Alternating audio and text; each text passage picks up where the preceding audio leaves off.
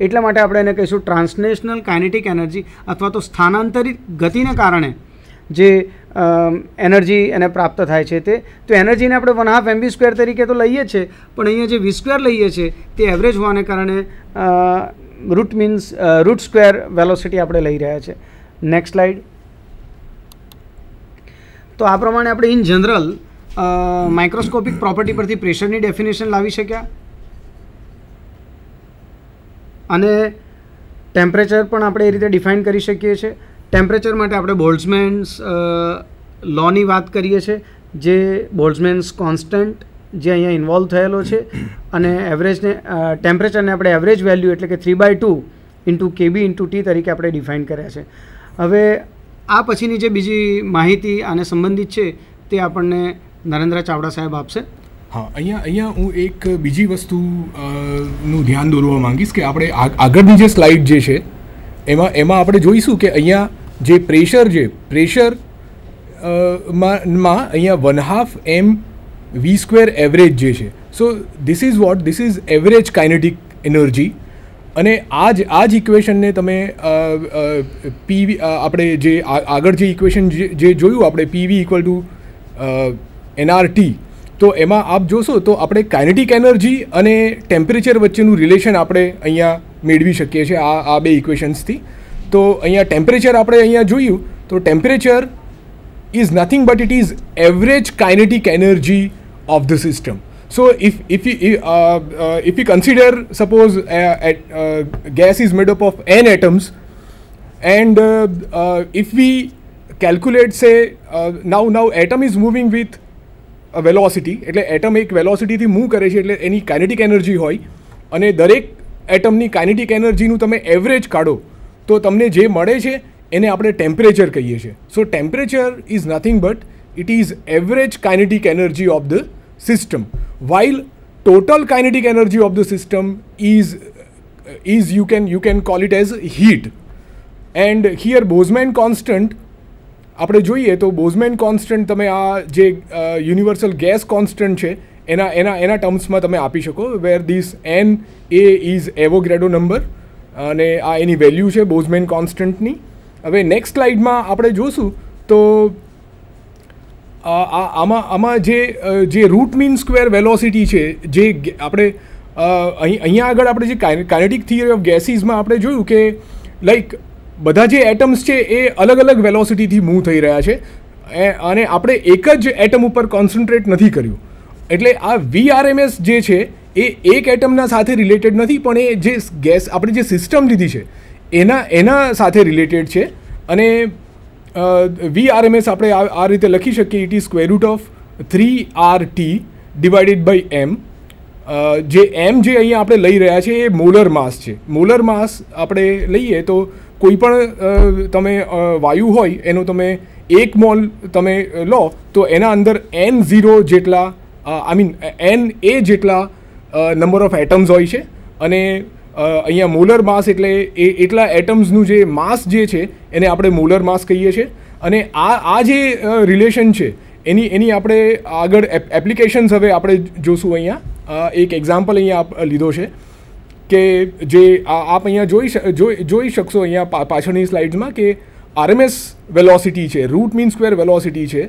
તો એ મોલર માસના inverse it is inversely proportional to the square root of molar mass તો suppose આપણા પાસે બે અલગ અલગ આપણા પાસે બે ગેસનું મિક્સચર છે સપોઝ અને એમાં એકની root mean square velocity V one છે અને બીજાની વી ટુ છે સપોઝ તો આપણે આ રીતે આ રીતે આ ઇક્વેશનમાં દર્શાવ્યા પ્રમાણે એ inversely proportional to the mass of that atom અને આ જે ઉપરનું જે રિલેશન છે, એ આપણે ડિફ્યુઝન જે છે, બે ગેસીસનું એ એ કોઈ કન્ટેનર હોય, એમાં બે ગેસીસ આપણે સપોઝ જુદા પાડવા હોય, તો આ ઇક્વેશન એ કેવી રીતે જુદા પડે છે, એ આ આ ઇક્વેશન થકી આપ એને એક્સપ્લેન કરી શકો છો. અને આ same method diffusion method actually use કરવામાં આવે છે, જે આપણે યુરેનિયમની વાત કરીએ, જે જે મુખ્ય સોર્સ છે ન્યુક્લિયર એનર્જીની આપણે વાત કરીએ ફિશનથી ફિશનથી જે ન્યુક્લિયર એનર્જી જે જનરેટ કરવામાં આવે છે, તો આપણે જ્યારે યુરેનિયમ નેચરલ યુરેનિયમની વાત કરીએ, તો નેચરલ યુરેનિયમ આપણે જે નેચરમાંથી આપણને જે મળે છે તો એમાંથી ખાલી પોઈન્ટ સેવન પર્સન્ટ જ યુરેનિયમ, જે યુરેનિયમ ટુ થર્ટી ફાઇવ છે, એ ફિશનેબલ છે. બાકીનું જે યુરેનિયમ છે, એ એનું આઇસોટોપ છે that is uranium two thirty eight તો એ ninety nine point three percent જે છે, એ નોન ફિશનેબલ છે. તો આ એકચ્યુઅલી જે અગત્યનું છે, એ ફિશનેબલ યુરેનિયમ છે. તો જે ફિશનેબલ યુરેનિયમને જુદું પાડવા માટે જે મેથડ યુઝ કરે છે, એ મેથડ આ ઇક્વેશન એ મેથડ ને તમે આ ઇક્વેશનનો યુઝ કરીને ડિસ્ક્રાઇબ કરી શકો છો. કારણ કે યુરેનિયમ ટુ થર્ટી ફાઇવ ને ફ્લોરી ફ્લોરિન સિક્સ સાથે મિક્સ કરવામાં આવે છે. ત્યારે જે યુરેનિયમ યુ એફ સિક્સ જે બને છે, એ એ, એનું માસ ઓછું હોય છે. સો એના એના એના લીધે એની આરએમએસ વેલોસિટી વધારે હોય છે અને એ રીતે એને સેપરેટ આઉટ કરી શકાય છે. હવે જે નેક્સ્ટ એક્ઝામ્પલ છે, એમાં જે આપણે પ્રીવિયસ જે ઇક્વેશન્સ ડિરાઈવ કર્યા છે, તો એ, એનો ઉપયોગ કરીને આપણે અમુક વસ્તુ આપણે અહીંયા સમજીએ કે આપણે સપોઝ નાઇટ્રોજન મોલેક્યુલ છે એટ ટ્વેન્ટી ડિગ્રી સેલ્સિયસ તો એનું રૂટ મીન સ્ક્વેર આપણે સ્પીડ શોધીએ. તો આ ઇક્વેશનમાં આપ વેલ્યુઝ રાખો તો એની રૂટ મીન સ્ક્વેર વેલોસિટી આપ જુઓ છો કે this is five hundred eleven metre per second અને એ જ પ્રમાણે ધારો કે આપણે રૂટ મીન સ્ક્વેર વેલોસિટી શોધવી હોય કે જ્યારે એ, એનું વેલ્યુ જે છે આનાથી હાફ હોય અને એનાથી ડબલ હોય સપોઝ તો એના, એનાથી ટેમ્પરેચરમાં કેટલો ફરક પડે છે એ આપ અહીંયા જોઈ શકો છો કે રૂટ મીન સ્ક્વેર વેલોસિટી આપણે રિડ્યુસ કરીએ, તો ટેમ્પરેચર રિડ્યુસ કરીને એને આપણે હાફ કરીએ, તો કરસ્પોન્ડિંગ ટેમ્પરેચર જે આવે છે એ minus two hundred degree Celsius છે. અહીંયા આ જે વેલ્યુ આપણે કેલ્ક્યુલેટ કરી છે એ ટ્વેન્ટી ડિગ્રી સેલ્સિયસ માટે છે. અને હાફ માટે જે ટેમ્પરેચર છે એ minus two hundred degree Celsius અને જ્યારે વેલોસિટી આપણે ડબલ કરીએ, તો ત્યારે આપ જોઈ શકો છો કે ટેમ્પરેચર જે આવે છે એ eight hundred ninety nine degree Celsius છે. સિમિલરલી હવે આપણે સેકન્ડ એક્ઝામ્પલ લઈએ. તો એમાં એવરેજ કાઇનેટિક એનર્જી અહીંયા કેલ્ક્યુલેટ કરી છે. જે આપણે પ્રીવિયસ એક્ઝામ્પલ આપણે લીધું નાઇટ્રોજન મોલેક્યુલનું તો six one thousand six hundred kelvin ઉપર એની એવરેજ કાઇનેટિક એનર્જી કેટલી છે? તો આપ જોઈ શકો છો ઇન ટર્મ્સ ઓફ જૂલ કે એ average kinetic energy six hundred kelvin પર કેટલી છે? અને આપણે હવે આ આ જે વેલ્યુ છે એનર્જીનું એ ઘણું નાનું છે. એટલે આપણે શું કરીએ છીએ કે એને ઇલેક્ટ્રોન વોલ્ટમાં આપણે દર્શાવીએ છીએ. It's atomic unit of energy તો એને એને જૂલમાંથી ઇલેક્ટ્રોન વોલ્ટમાં કન્વર્ટ કરવા માટે આ ફેક્ટર જે છે એનાથી એને ડિવાઈડ કરવું, કરવાનું હોય છે. So now three point three one into ten to the power minus twenty joule is nothing but it is point two one electron volt તો આ આ થયું આપણે જે બે એક્ઝામ્પલ્સ એના રિલેટેડ જોયા. એ જ પ્રમાણે સપોઝ આ જે ગેસ છે, એને આપણે કન્ટેનરમાં જે ગેસ છે, એને આપણે ટેમ્પરેચર કોન્સ્ટન્ટ રાખીને એને આપણે એક્સપાન્ડ કરીએ.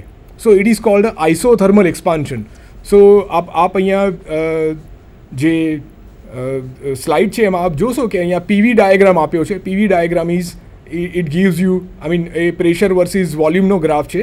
અને આ જે ગ્રીન કર્વ આપ જે જોઈ શકો છો, એ કોન્સ્ટન્ટ ટેમ્પરેચર છે. અને આપણે ઇનિશિયલ સપોઝ ગેસનું વોલ્યુમ ઇનિશિયલી વીઆઈ છે. અને એ એક્સપાન્ડ થઈને એનું વોલ્યુમ વીએફ થાય છે. તો આપ જોઈ શકો છો કે આ આ દરમિયાન જે વર્ક જે થાય છે, એ વર્ક તમે આ પ્રમાણે કેલ્ક્યુલેટ કરી શકો કે work is given by here we we are considering pressure into pressure into dv. So આપણે લખી શકાય N R T and divided by V right so finally આપ જ્યારે કમ્પ્યુટ કરશો, તો what you will get is N R T L N V F by V I so આ આ જે ઇક્વેશન છે, એ એ તમને શું દર્શાવે છે કે જ્યારે ગેસ એક્સપાન્ડ થયું, એનું, એનો વોલ્યુ એના કદમાં જ્યારે વધારો થયો, ત્યારે આટલું ડબલ્યુ જેટલું વર્ક જે થયું, એ તમે આ ઇક્વેશનથી કેલ્ક્યુલેટ કરી શકો છો. અને આ જ પ્રમાણે તમે વિચારી શકો કે ધારો કે ગેસને કોમ્પ્રેસ કરવામાં આવે, આ તો આપણે એક્સપાન્શન જોયું, પણ તમે આનાથી રિવર્સ પરિ, પરિસ્થિતિ પણ આપ વિચારી શકો છો. કે સપોઝ કોમ્પ્રેસ કરવામાં આવે, તો શું થાય? જ્યારે આપણે કોમ્પ્રેસ કરવામાં આવે, ત્યારે એ જે વર્ક જે થતું હોય છે, એ ગેસ ઉપર થતું હોય છે. જ્યારે એક્સપાન્ડ થાય છે, ત્યારે ગેસ એ સિસ્ટમ ઉપર વર્ક કરતું હોય છે. હવે આ નેક્સ્ટ સ્લાઇડ જે છે, એમાં આપણે ઇન્ટરનલ એનર્જી વિશે આપણે જોઈશું. અને આપણે, હું બાલ, બાલકૃષ્ણ સાહેબને વિનંતી કરીશ કે એ ઇન્ટરનલ એનર્જી વિશે આપણને થોડી માહિતી આપે. વિદ્યાર્થી મિત્રો અણુઓની અથડામણોને કારણે પ્રેશર ઉત્પન્ન થાય છે અને આ પ્રેશર તેમના ટેમ્પરેચર પર આધારિત હોય છે. આ વસ્તુ આપણે આગલા ઇક્વેશનોમાં જોઈ. હવે આ ઇન્ટરનલ એનર્જી શું છે? તો એ ઇન્ટરનલ એનર્જીને સમજવા માટે આપણે સ્લાઇડમાં જેવી રીતે બતાવ્યું છે એ પ્રમાણે એક કેસ લઈએ છીએ કે ભાઈ મોનોએટમિક ગેસ તો મોનોએટમિક ગેસમાં આપણે એક એઝમ્પશન લીધી કે આપણા ગેસની અંદર એક જ એટમ છે. અને એ જો એક એટમ પ્રમાણે આપણે એવરેજ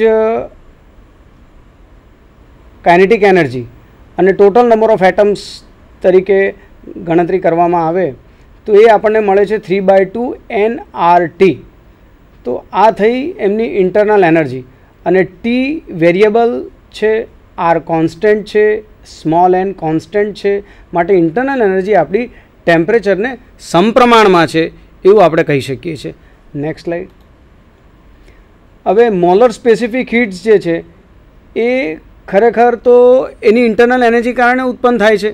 તો એનું જે આપણે કોન્સ્ટન્ટ્સ છે, તે સીપી અને સીવી છે. તો આ સીપી અને સીવી કોન્સ્ટન્ટને આપણે ફર્સ્ટ લો ઓફ થર્મોડાયનેમિક્સ પરથી ડિરાઈવ કરી શકીએ છીએ. હવે ફર્સ્ટ લો ઓફ થર્મોડાયનેમિક્સ એ ઇન્ટરનલ એનર્જીને સંબંધિત લો છે. ક્યુ જે છે, એ work done total total heat અને ડબલ્યુ વર્ક ડન છે, તો એ બેનો જે તફાવત છે કે તમે જે પણ એનર્જી તમારા મોલિક્યુલ્સને આપો છો અને એમના દ્વારા જે વર્ક ડન થાય છે, એ બંનેમાં જે તફાવત છે, એમની ઇન્ટરનલ એનર્જી તરીકે ગણવામાં આવે છે. આ પછીની જે સ્લાઇડ્સ છે એમાં હું ચાડવા સાહેબને રિક્વેસ્ટ કરું કે બતાવો. હું અહીં એક વસ્તુનું ધ્યાન દોરવા માંગુ છું કે અહીંયા અહીંયા જ્યારે આપણે અહીંયા જ્યારે મોલર સ્પેસિફિક હીટની વાત કરીએ છીએ તો પહેલાં આપણે એ સમજી લઈએ કે સ્પેસિફિક હીટ શું છે. તો સ્પેસિફિક હીટ આપણે કોઈ પણ સબસ્ટન્સ હોય તો જ્યારે તમે એને હીટ એનર્જી સપ્લાય કરો ત્યારે એનું ટેમ્પરેચર વધે છે. અને દરેકે દરેક સબસ્ટન્સ એટલે જુદા જુદા સબસ્ટન્સ આપણે લઈએ તો એને એને તમે જ્યારે હીટ એપ્લાય કરો તો દરેકનું ટેમ્પરેચર અલગ અલગ વધતું હોય છે. એટલે સ્પેસિફિક હીટ આપણે ડિફાઇન કરી શકીએ કે specific heat is a heat required to raise the temperature of one gram of a substance by one degree Celsius એને આપણે સ્પેસિફિક હીટ કરીએ. અહીંયા આપણે વન ગ્રામ સબસ્ટન્સ લીધું. હવે વન ગ્રામ સબસ્ટન્સના જગ્યા પર સપોઝ આપણે એક મોલ લઈએ. આપણે અહીંયા ગેસની વાત કરીએ છીએ, તો આપણે અહીંયા ગેસની વાત કરીએ ત્યારે મોલ અગત, અગત્યની વસ્તુ છે. કારણ કે કોઈ પણ તમે, કોઈ પણ વાયુનો તમે વન મોલ લો, તો એના અંદર નંબર ઓફ એટમ્સ કોન્સ્ટન્ટ હોય. અને એ આપણે એન એન ઝીરો જેટલા હોય, એવો એવો એવો એવો ગ્રેડો નંબર જેટલા. એટલે અહીંયા આપણે જ્યારે સ્પેસિફિક હીટની વાત કરીએ, તો આપણે મોલર સ્પેસિફિક હીટની વાત કરીએ છીએ, તો એમાં વન ગ્રામ સબસ્ટન્સના જગ્યા પર આપણે અહીંયા લઈએ છીએ one mole of the substance અને આપણે જોયું કે જે ગેસીસ છે ગેસીસના અંદર જ્યારે તમે ગેસને હીટ એપ્લાય કરો, તો એનું વોલ્યુમ પણ વધતું હોય છે પ્લસ એનું પ્રેશર પણ ચેન્જ થતું હોય છે. એટલે જ્યારે આપણે ગેસ કન્સિડર કરતા હોય, ત્યારે ગેસના કેસમાં બે જાતની સ્પેસિફિક હીટ આપણે કન્સિડર કરવી પડતી હોય છે. એક રિલેટેડ ટુ વોલ્યુમ અને એક રિલેટેડ ટુ પ્રેશર જ્યારે તમે લિક્વિડ અને સોલિડ આપણે કન્સિડર કરીએ, તો લિક્વિડ અને સોલિડના અંદર જે એક્સપાન્શન છે એ વાયુ ગેસના કમ્પેરમાં ઘણું ઓછું હોય છે. So there we can neglect I mean there we have only I mean વોલ્યુમમાં વધારે ચેન્જ નથી આવતું. એટલે ત્યાં તમે એક એક જ સ્પેસિફિક હીટ ડિફાઇન કરી શકો છો. અને એ આપણે it is related to pressure તો જ્યારે કોન્સ્ટન્ટ વોલ્યુમ આપણે લઈએ અને ત્યારે જે સ્પેસિફિક હીટ આપણે આપવી પડતી હોય છે, તો એને આપણે constant volume molar specific heat આપણે કહી શકાય. અને એ જ પ્રમાણે કોન્સ્ટન્ટ પ્રેશર માટે પણ ડિફાઇન કરી શકાય. આ જે ઇક્વેશન આપ્યું છે, એ મોનો એટોમિક ગેસ માટે છે. મોનો એટમ એટોમિક ગેસ એટલે એમાં ગેસના મોલિક્યુલ્સના અંદર એક જ એટમ હોય. એટલે ધારો કે આપણે ડાય એટોમિક લઈએ for an example H two લઈએ, તો એમાં એચના બે અણુઓ છે. તો એ જ પ્રમાણે અહીંયા આપણે જે લીધું છે, એ મોનો એટોમિક ગેસ છે.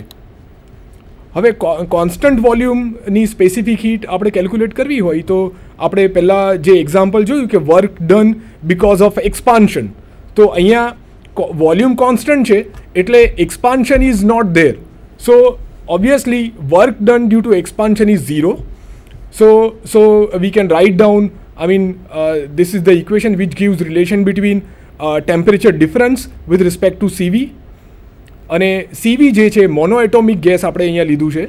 એટલે સીવી જે આપણને અહીંયા મળી રહ્યું છે એ થ્રી બાય ટુ આર અને internal energy in terms of CV we can write down it is here also it is proportional to the temperature હવે આપણે આપણે પ્રેશરની વાત કરીએ કોન્સ્ટન્ટ પ્રેશરની તો જ્યારે આપણે કોન્સ્ટન્ટ પ્રેશર ઉપર ગેસ રાખીને તમે જ્યારે એને એનર્જી આપતા હોવ છો ત્યારે ત્યારે શું થાય છે કે એનું વોલ્યુમ પણ ચેન્જ થાય છે અને પ્રેશર કોન્સ્ટન્ટ રહે છે, પણ એનું વોલ્યુમ ચેન્જ થાય છે.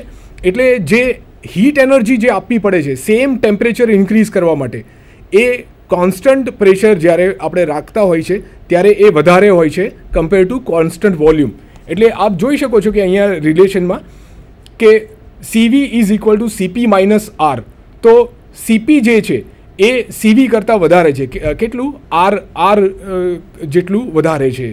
અને સીપી મોનોએટોમિક ગેસ માટે તમે લખી શકો it is five by two R અને આ જે ગામા જે રેશિયો છે, એ ratio it is CP by CV અને મોનોએટોમિક ગેસ માટે એ ફાઇવ બાય થ્રી જેટલો મળતો હોય છે. હવે મોલેક્યુલર સ્પેસિફિક હીટ આપણે વધારે ડિટેલમાં જોઈએ, તો કોમ્પ્લેક્સ મોલેક્યુલ્સ આપણે જ્યારે કન્સિડર કરતા હોઈએ છીએ ત્યારે કોમ્પ્લેક્સ મોલેક્યુલ્સના અંદર રોટેશન્સ પણ હોય છે અને વાઇબ્રેશન્સ પણ થતું હોય છે. એટલે in in addition to translation of course એટલે આપણે ત્રણ ગતિ આમાં આપણે ઇન્વોલ્વ કરી શકીએ. ત્રણ વસ્તુઓ. એક તો રોટેશનલ વાઇબ્રેશનલ અને ટ્રાન્સલેશન અને ઇન્ટરનલ એનર્જી જે છે, તો internal energy is given by three by two NRT એ આ ઇક્વેશન આપણે અગાઉ પણ આપણે ત્યાં જોઈ લીધું. અને આપ જોઈ શકો છો કે internal energy is a function of temperature A temperature ઉપર ડિપેન્ડ કરે છે. But it is not function of pressure or volume so it is independent of pressure and volume હવે નેક્સ્ટ સ્લાઇડમાં આપ જોઈ શકો છો કે આપણે જે આ ગેસ છે અહીંયા, એ ગેસને આપણે અહીંયાથી થર્મલ રિઝર્વાયરથી આપણે હીટ સપ્લાય કરી રહ્યા છે. અને